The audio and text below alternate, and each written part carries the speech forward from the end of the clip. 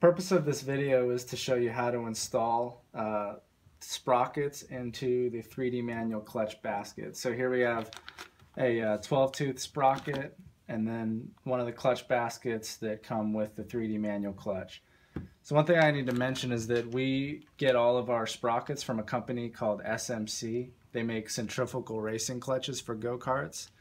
And uh, we use their sprockets um, in our uh, 3D manual clutch. And we can supply sprockets uh, from 12 teeth on up in both number 35 pitch and 428 pitch. And we are currently planning on um, offering sprockets in the 40 and 41 pitches as well. So the first thing you want to do is open up the sprocket, pull the sprocket out of the bag. You'll notice that the OD of the sprocket is threaded and that matches the threads on the bore of the clutch basket.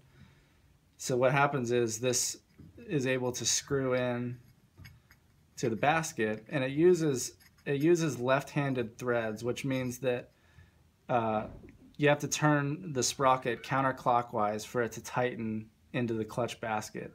The reason that is is because under normal acceleration the torque from the engine is constantly acting to tighten the sprocket and keep and it prevents it from loosening. So the first thing you want to do is hand tighten the sprocket. Um, doesn't have to be too tight, but you want to seat it. And then what we do is take a uh, shop rag, put it into a vise, if you have a vise, and then position the basket and just loosely grab onto the teeth using the bas using the vise. Doesn't have to be too hard.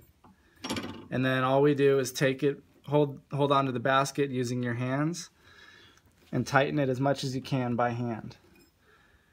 If you're, the amount that you can torque it by hand by holding onto the basket is sufficient to uh, get you going.